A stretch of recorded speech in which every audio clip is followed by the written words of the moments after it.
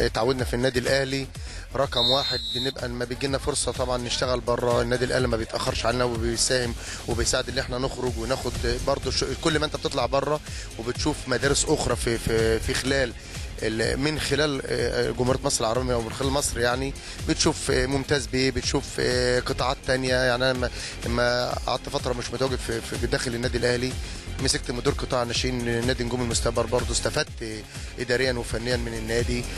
لما اشتغلت في الدرجة الممتاز بيه برضه استفدت من الدرجة الكبيرة اللي هي المرحلة الأكبر. فكلها استفادات. لما بترجع تاني قطاع الناشئين برضه بتبقى مرحلة بتبقى مهمة جدا وخاصة إحنا متعودين في النادي الأهلي يعني بتبقى صعب الخروج منه يعني. عشان أخرج مكان اطلع بره النادي الأهلي بيبقى لازم المفروض نبقى إحنا دارسين المكان اللي إحنا رايحينه كويس قوي وعارفين المكان ده هنقدر نستفاد منه ونفيد المكان نفسه است- استفادة مشتركة يعني. لكن آه، الواحد بيرتاح عموما بيرتاح في الشغل في النادي الأهلي ببقى عارف اللي ليا واللي عليا فدي آه، مهمة جدا. طالما انت دخلت جوه منظومة النادي الأهلي هتبقى لاعب مطلوب منك تجيب بطولة. عشان كده أنا كنت بقول أي لعيب يدخل النادي الأهلي صعب يتأقلم بسرعة اللي هو متعود في ناديه اللي هو ممكن ياخد مركز معين في الدوري متع- متعود يبقى بيصارع على الهبوط متعود اللي هو يبقى في المنافسة لكن مش متعود اللي هو ياخد بطولة. فمع النادي الأهلي أنت وأنت لاعب محتاج تاخد بطولة.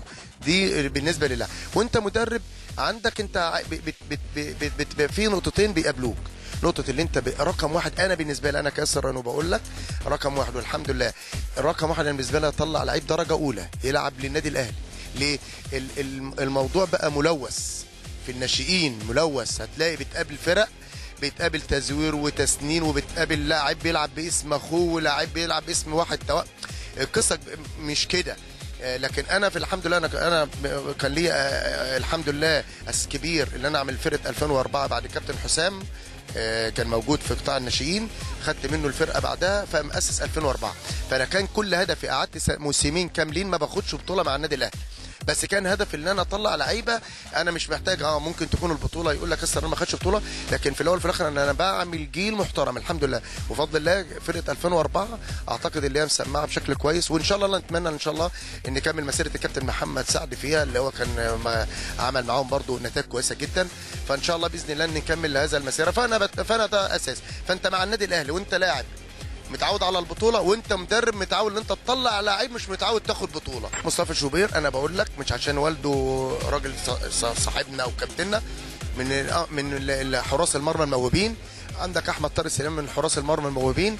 شريف اكرامي طبعا عدى بفضل الله وكان من الرموز وبرضه خد نفس الضغوط اللي, اللي هو اللي كان بيقابلها.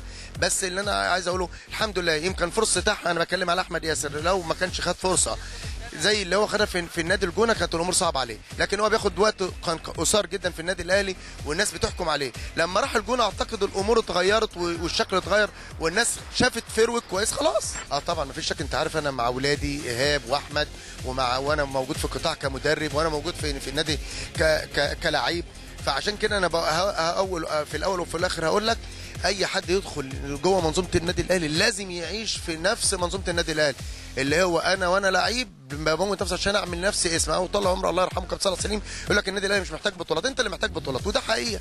إما باجي أتكلم معاك باجي أقول لك أنا ياسر ريان لاعب النادي الأهلي ومعايا من رصيدي من البطولات قد كده ومعايا من الماتشات قد كده سواء مع بطولات إفريقية ولا عربية ولا محلية. ده إنتاجي. النادي الأهلي ده حاجة كبيرة جدا رمز كبير إحنا بنفتخر بيه اللي إحنا موجودين فيه.